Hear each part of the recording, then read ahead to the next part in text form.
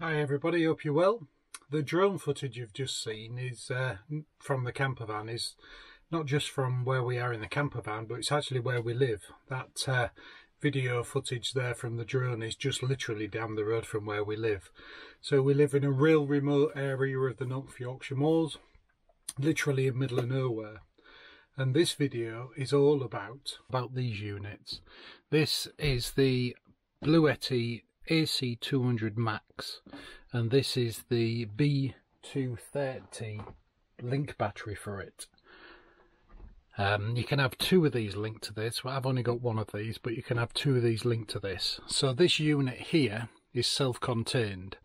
And within this unit, there is a massive battery. It's 2048 watt hours of power. It's got a full sine wave um, inverter so it converts the battery power from this to mains power from these three pin sockets. And that's done in a way that makes these very safe for computer equipment laptops computers and TVs has various USBs at various powers two here at 18 watts two here at 3 amp. There's um, a USB-C 100 watts. Um, it's got two um, DC outputs there at 10 amp. These are the barrel connect ones, mainly for LED lights. The good old traditional cigarette socket. And this one here is an interesting one. This, you can take 12 volts from this up to 30 amps. And that's direct current DC. And this can be linked from this socket here to an actual fuse box which can link into your camper van so you can run your camper van 12 volts from a connection here up to 30 amps. And then separate to this these are linked with this big cable. This cable just plugs into the side and to the front of this. This B230 is a separate unit in itself but it's also a backup battery for this. So in, in here it doesn't have an inverter um, it doesn't have the on the screen display but it, what it does have the battery backup power to feed into this. So with this unit and this unit you've got 400 watt hours of power. And this can be charged independently. So you can plug a um, mains power supply in there or you can plug solar into there as well. And then over here you've got your USB-C 100 watt USB-A 18 watts and the good old cigarette socket. So this and this can be linked together to give you maximum power. And uh, this is a lot of power for my camper van. And people uh, looked at one of my other videos. I did a video recently looking at uh, petrol generators and I mentioned these. I'll put in the link in the top corner if you want to have a look at that. But these are like the top of the range lithium batteries. They're the best batteries you can get. The batteries in these have a recharging capacity so they can recharge about 3500 times um, from a very low voltage up to full voltage without impacting on the capacity of the batteries and even after that um, 3,500 charging cycles, you only lose um, down to about 80% of the power. So these should last a good 15, 20 years um, for whatever you use them for. But this powers can power everything we need, not just in our camper van. So in our camper van, we'll plug um, electric kettle, um, sandwich maker, toaster, anything we really want into these. Air dryers, charge our e-bikes with these on the move. Anything we want, we can power off these. Off the main side is what we use for this, but we can also use the DC, the low voltage side as well. On the top of here, there's two through charging units on there so you can charge your phone wirelessly or two phones at the same time wirelessly on the top of there but it's a big unit it's a big versatile unit but it's still portable with this linkage lead, you can just use this. You can take this somewhere and just use this and the power that's in this. Or you can actually just use this. If you're just looking to run things off 12 volts, you've got enough sockets and things on this. And I do that quite often. I can run my laptop on this. I have a 12 volt charger for my laptop and that plugs into there and I can run it off this. So you can use them independently. You can charge them independently. You can put up to 1400 watts of solar into this and you can multi-charge it. So you can put solar into this, um, the battery charger um, from the mains into this and you can also charge this independently as well. And if you get enough power into this, you can charge this fully in about two hours. But there's lots of reviews on the internet which go into all the technicalities of how ca the capacity and everything is in relation to these units. I'm more interested in this video getting the message across how we utilise these, not just in our camper van, which they're fantastic for, we'll never run out of power with these, but also in the cottage and where we live remotely and how we use those to do many different things. They're very versatile to enable us to um, have power anywhere we want it and whenever we need it. There will be some discount codes for these from Bluetti and there's also an offer as well. With these units you can actually get a 12 volt enhancer charger. So this when it's plugged into back of my van you'll see in a minute how I have it plugged in. This cable here plugs into the back of the van into the 12 volt uh, unit in back of the van. So in my van I have a full Victron setup and a EcoTree 320 watt lithium battery and I have 300 watts of solar on the roof. So I use that power as I'm driving along and the um, battery to battery charger to put power into this to trickle charge this and it puts about 100 watts in as I'm driving along or when it's just sat there using the solar. So this is powered and charged before I go away. I can plug it into the mains or I can plug it into big solar at home. I can use a portable solar panel which I'll show you how best to use that. I found a great way to use portable solar panels is to put them on the awning. So this is the Bluetti 350 watt portable solar panel. So if you think about tilting solar panels, if you park your van in the right way and you have an awning on it and you lay it on your awning like this, you can alter the angle of your awning with the uprights to fasten to the van to get the optimum angle for your solar panels. And then just I just run the wires off this down there and into the back of the van. But I find that a really good way and it gets your solar panels out the way and it gives you the maximum power off them because you can angle it to the right angle to the sun.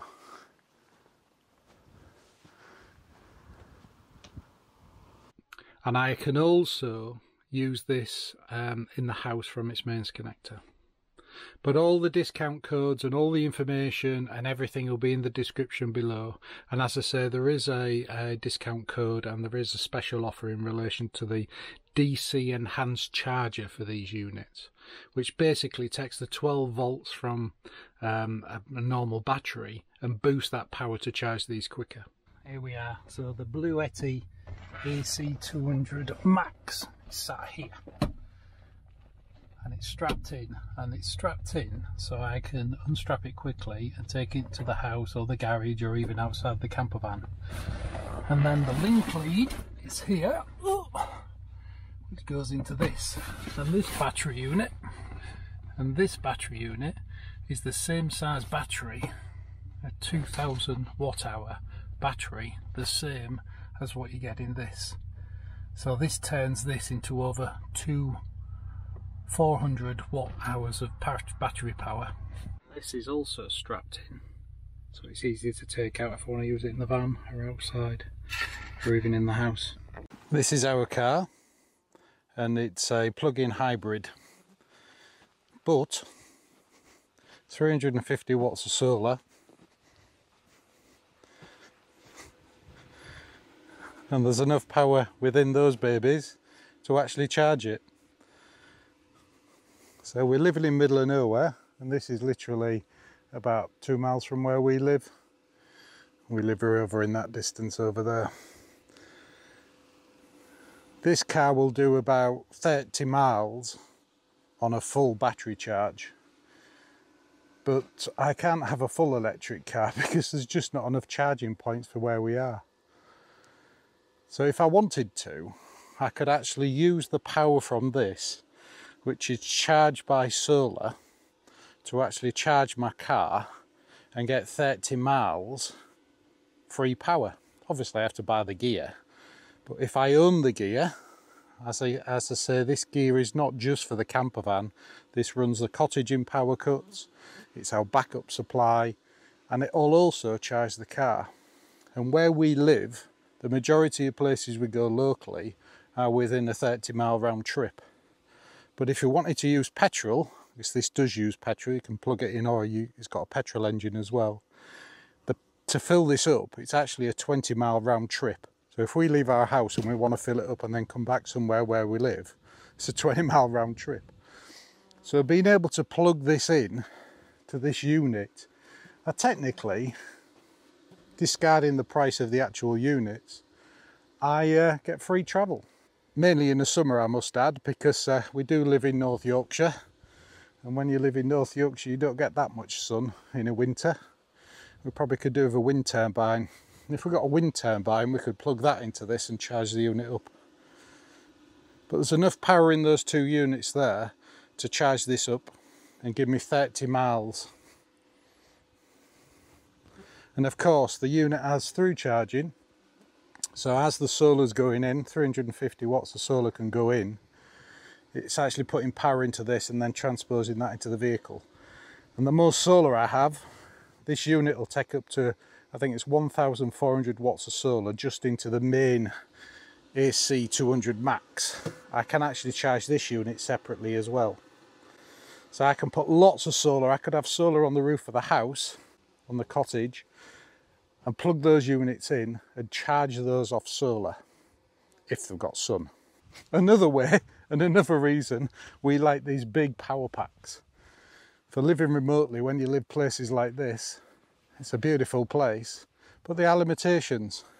And if you can just imagine to get power to some of these remote, remote buildings where we live, it's all overhead cables.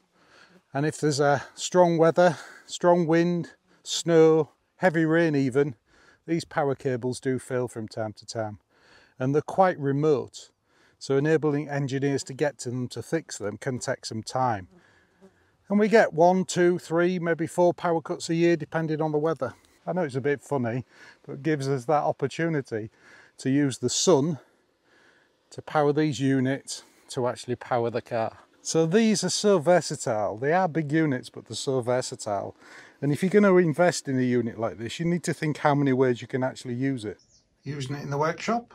So remote workshop, no mains power. Take this with you. And it'll easily power drills, saws, chop saws, planes, grinderette, anything you'd normally use in your workshop. I can even run the electric grass cutter off it. How about a bit of remote welding?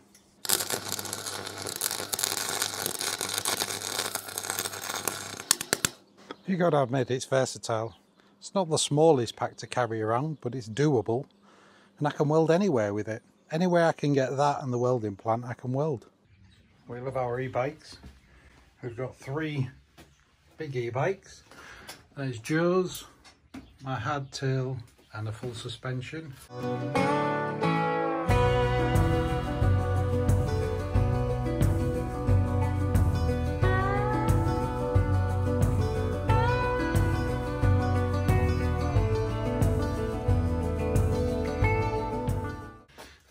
This one as well, which we're going to do a test on very soon, a review on that one. But they all need power. And this is at the end of the garden. And to charge these we normally have to take the batteries out and mess about like that. But having that power system we can just plug it straight into the power system. And we can put a solar panel on the roof in the summer and charge it up from that so as you've seen, these are actually located in back of the camper van when I take them away with me. And there's lots of functions on here, but there's an app. So if we go into the Blue Bluetti app, you can get all these functions uh, through the app. So I don't actually need to be near to this unit to operate it. There's no subscription or anything you need to do this, so it's just a, a link that goes through it and you can switch power systems on. You click on the button, very similar to the other one, and it'll show you what power you have from various units. So as well as the main unit, the battery pack 1 is at 89% and the battery pack 2 is at 88%. And as I say, you can have two of these linked to this. Um, so they do these, this is the 230B and they do a bigger version of this. So you can have two of the bigger versions linked to this or two of this size linked to this and it all operates through the app. You can't have a, the 200 one and the bigger one, the 300 one linked together. So you, these have to be the same sort of capacity to link to the unit. But they're all controllable through this app and it'll give you all the information you need on there. So as this is sat in back of the camper van all strapped in, I can switch everything on and off and I can switch the units off and do whatever I want from the app remotely. Which is really good, so you don't have to actually have them in your van, or if they're in the house, they don't have to be next to you in the house the way this works in our van is that there's a, a three pin plug that goes into here runs back to this socket we have here and there's three three pin sockets on there. And we can plug electric kettle toaster sandwich maker electric hob into that unit there and just use them in the kitchen as we would normally. But also we can actually take this outside. So this can be taken outside and we can have electric um, hob or oven or cooker, whatever we want, plugged into this and just use it remotely as well. The way we use these in the cottage is that uh, we either just move it about to wherever we need it. If we're in a short-term power cut, we'll maybe move it into the kitchen and may plug it into a electric cooker like this. Um, we use something like this through summer when it's really hot because we normally have an Aga running in the in the kitchen, that big hot thing over there. But it's too hot in the summer, so we'll use this. And this does everything we need really for a summer. But that unit will power this no problem whatsoever.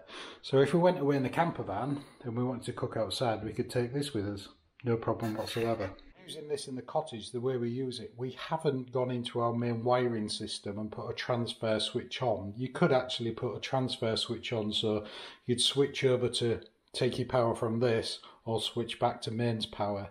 We just simply, without having these four sockets on, we put it in the location where we've got the most items and then we'll actually run an extension cable to anywhere else. We basically use this downstairs because most of the products we use all the time are downstairs and upstairs we'll use a torch or a, a battery powered light because that's all we need.